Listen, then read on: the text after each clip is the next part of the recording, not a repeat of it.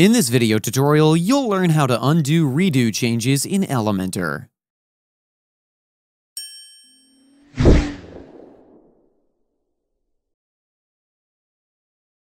So, let's get started.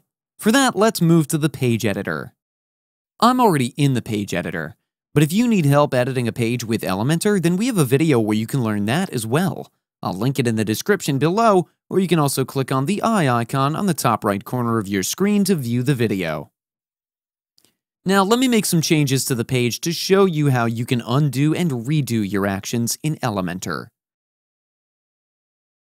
For example, let me add a text here, and to undo it you can press Ctrl Z. To redo, you can press Ctrl Shift Z like this.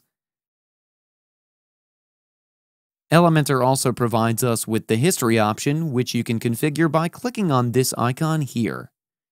By clicking on it, it'll display the action panel. This panel locks each and every action, and one can trace all the steps. You can simply go to each of these steps until you reached the one you want. Each listed action includes the section column or name of the widget that was affected, it also includes a reference for whether the action was for editing or adding. If you want to go even further back, you can switch to the Revisions tab to browse through earlier saved versions of your design.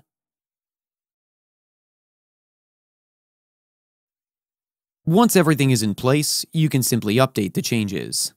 And this is how you can undo or redo changes in Elementor.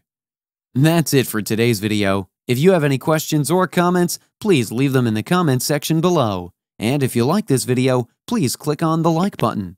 If you're new to our channel, hit the subscribe button and tap the bell icon so that you don't miss any of our future videos. Thanks for watching. We'll see you at the next one.